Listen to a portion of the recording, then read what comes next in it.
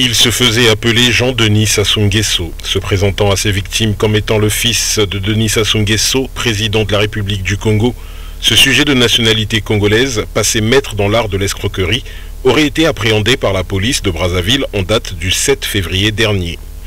Accusé d'usurpation d'identité et de faux usage de faux, Jean-Denis, pour s'en tenir qu'à cette fausse identité, aurait su amasser plusieurs millions de francs CFA en échange de faux marchés d'affaires octroyés en majeure partie à des citoyens de la communauté ouest-africaine, et ce, grâce à la complicité d'un dénommé Sila Tidiane qui l'aurait servi d'intermédiaire et de facilitateur auprès de la dite communauté. Habillé et coiffé à l'image du chef de l'État, imitant à la perfection l'éloquence et le timbre vocal de celui qui faisait passer pour son père, Jean Denis ayant un pseudo-garde du corps en uniforme militaire, semblait ne pas avoir lésiné sur les moyens afin de mettre toutes les chances de son côté dans le seul et unique but de réussir ses manœuvres frauduleuses. Et comme si cela ne suffisait pas, ce dernier se serait procuré une carte professionnelle le désignant comme président-directeur général d'une société de la place.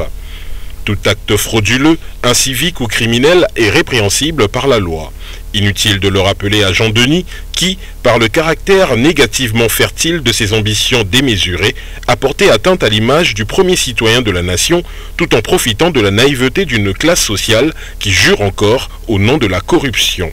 Jean Denis sera traduit devant la justice afin de répondre de ses actes.